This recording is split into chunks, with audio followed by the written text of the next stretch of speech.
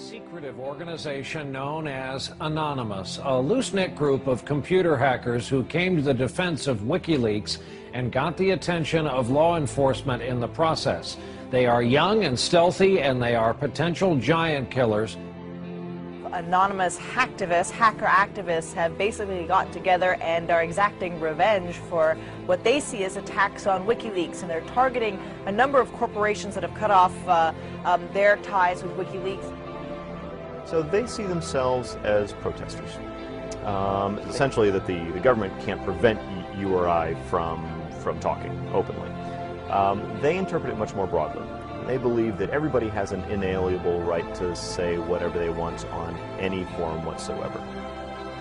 Now, today, this group of computer hackers are apparently threatening cyber war over this WikiLeaks case. What do you know about that?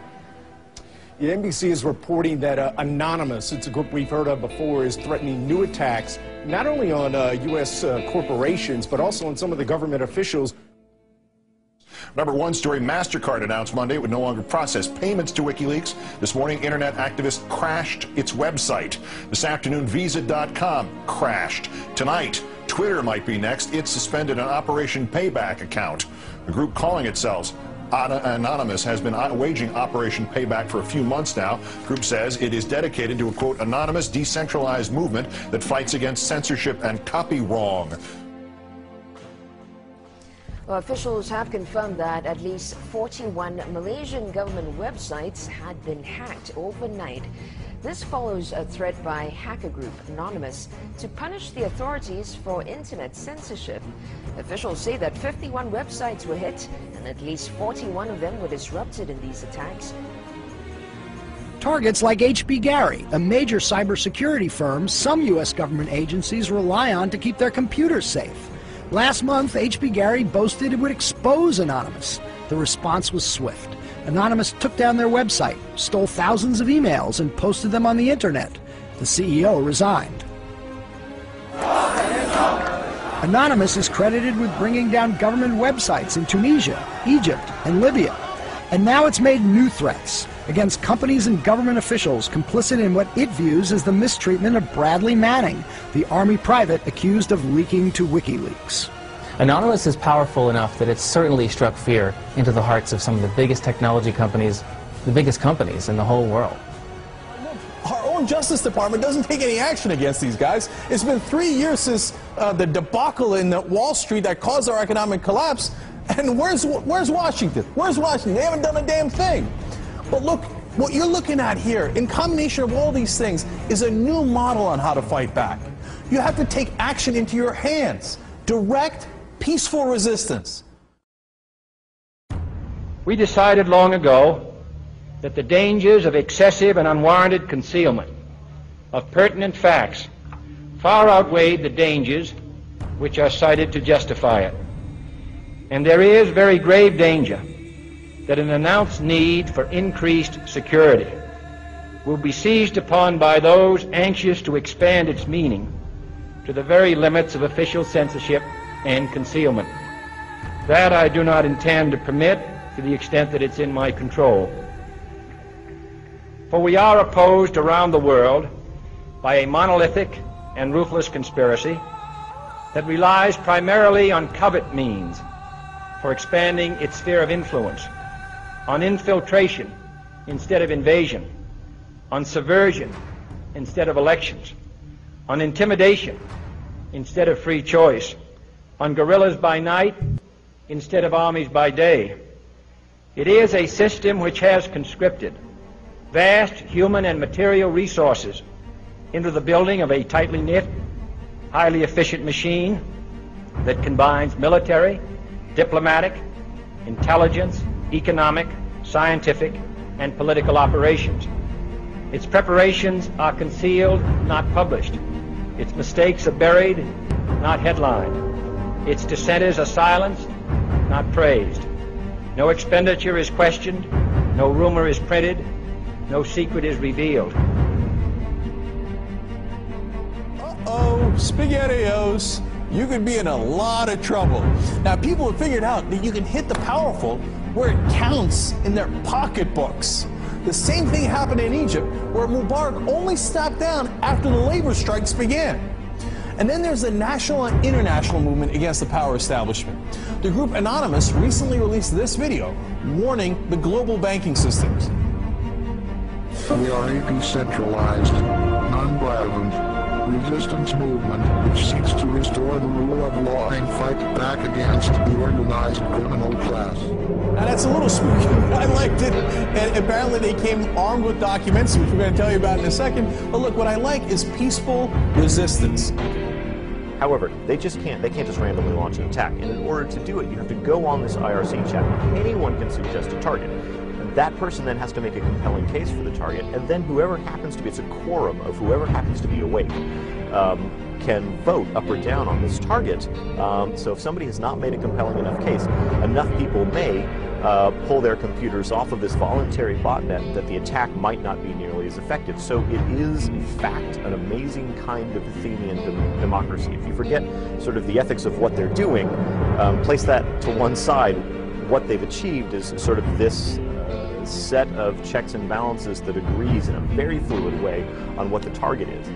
This is the new model of fighting back against the establishment and against corporate power. Don't wait for your knight in shining armor to show up from D.C. The bad news is he ain't coming. The good news is it turns out you're the knight in shining armor. I believe that Gandhi's views were the most enlightened of all the political men in our time.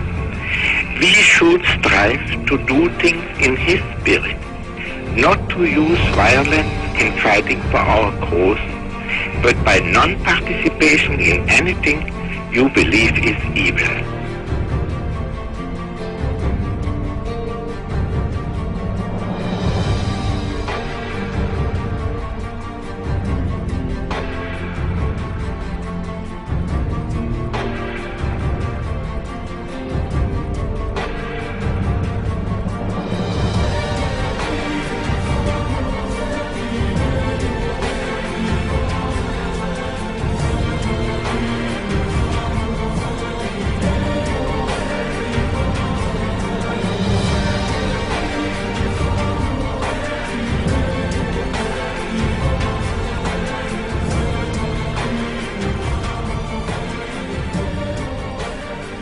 What's next? What's next is all they can do is shut down the internet itself.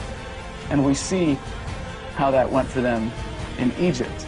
And we, the people, know that when the government shuts down the internet, that's when it's time to shut down the government. We are anonymous. We are legion. We do not forgive. We do not forget. Expect us. And now, you can expect a whole lot more.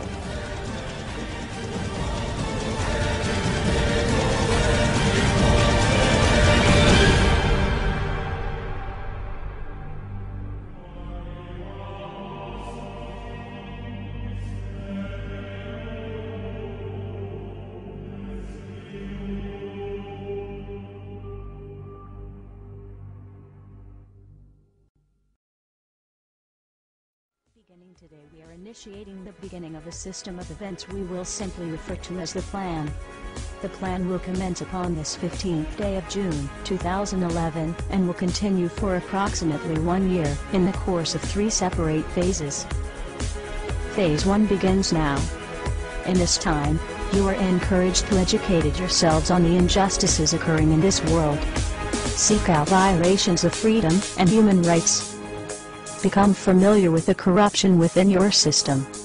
Discover the enemy of true freedom. Discover the oppressors. The most important step of Phase 1 is to spread this message by sharing this video and those that preceded it. Make your own films or videos, artwork, music, literature resonate the voice of freedom and justice through your own creativity and bring others to this movement. Street artists, you have the ability to reach millions with your art and message in your own populated centers. Your canvas is there, my friends begin your work. Write the tales of oppression and injustice in your blogs. Tell the world how we can for once break free from this system of enslavement. Depict the images of freedom and truth through your art and film. Spread the message of the plan with your graffiti.